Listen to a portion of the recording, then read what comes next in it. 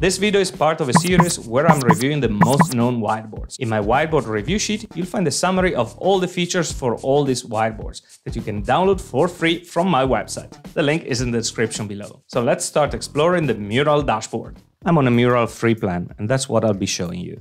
The dashboard is very nice and intuitive and a lot of emphasis is put on templates. We have direct access to popular templates, but we can access all of them in the Templates tab. In the Murals tab, we can find our whiteboards. So let's go and create Mural. Similar to Miro, Mural is pushing again for their templates. However, to be consistent with what I've done in the other whiteboard reviews, I'll go for a blank canvas. Here at the bottom, we see one of the biggest differences of the current version of the Mural whiteboard compared to the earlier one. By default, Mural has a limited canvas size, but we can take this option to go for an infinite canvas. It's still in beta version, but Mural has definitely made a smart move, catching up on the infinite canvas that was missing earlier, but leaving the options to go for a limited canvas, which could be useful for certain applications. I will create a new one with an infinite canvas. So let's start from the top left. The first option is to go back to the dashboard, and the second one is text. The icon looks like a sticky note, so let's see what we get here. Indeed, text and sticky notes go all under this icon. So let's start with text. I've inserted the title and now let's see what we can do with it. As usual, we can drag and drop to change the size, can rotate it, move it around, lock it. There are two types of lock. The normal lock that can be unlocked by anyone and the facilitator lock, where only the facilitator can unlock the object. The next function is zoom to text, which will place the object at the center of the board. We can decrease or increase the font size, change the font, make it bold, italic, underlined, strike through. We have align options, bullet points, and ordered list. There are 30 predefined colors, but we can always add our custom colors. We can add background color to the text box, and we can add a link to the text. So again, I'll enter the link to my website and let's see how it looks like. If I now click on Open Link, my website is opened. At the far right, we have the Switch Type option that allows us to change the object type to sticky notes or shapes. For example, let's change this to sticky note. If we are unhappy with it, we can always click on Undo. Let's see what other types of text we can insert.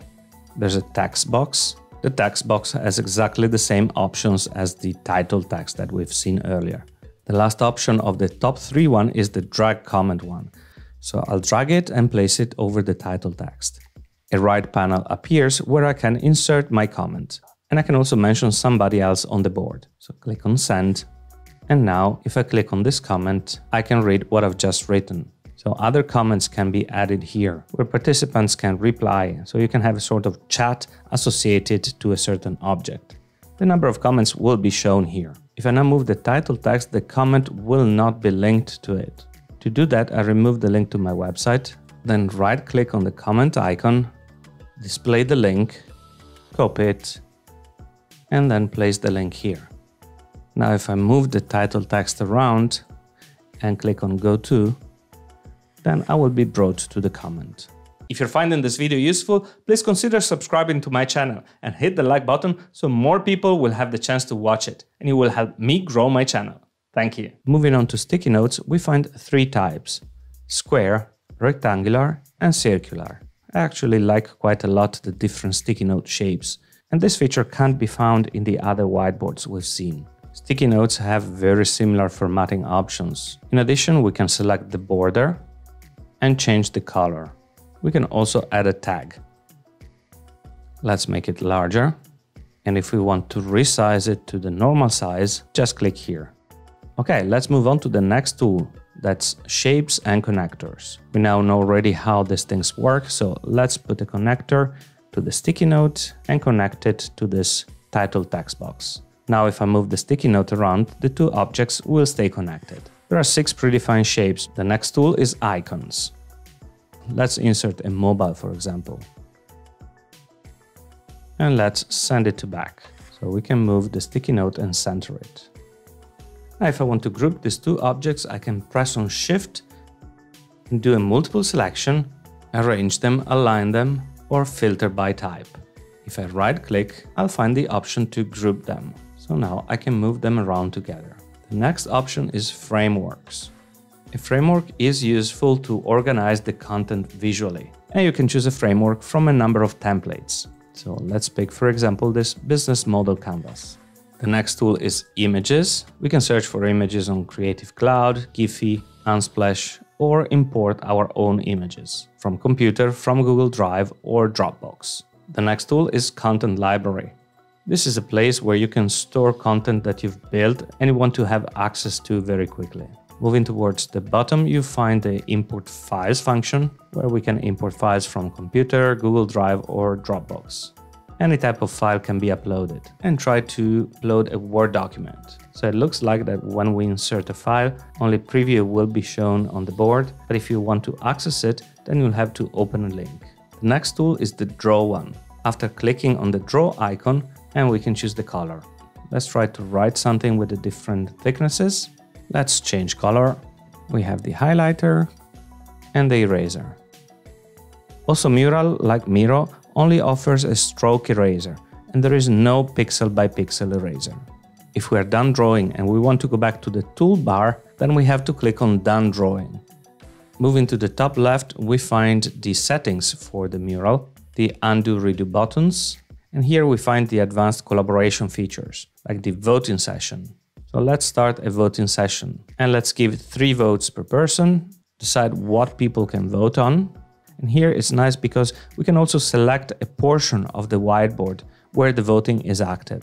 So let's see how this works. Let's start it. I gave one vote here, one vote here, and let's see if I can give a second vote. Yes, I can give a second vote to an object. Different to Miro, there is no integrated timer for the voting. However, Mural do have a timer and we'll look at it in a second. Let's end the voting session.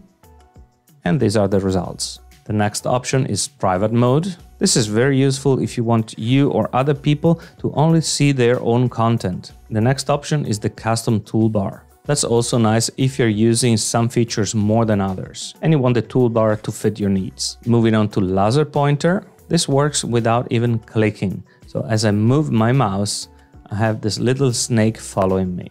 And now the timer. You can set the time and play sound at the end. Here you see a description of all the options that are available to facilitators. They are called facilitator superpowers in Mural.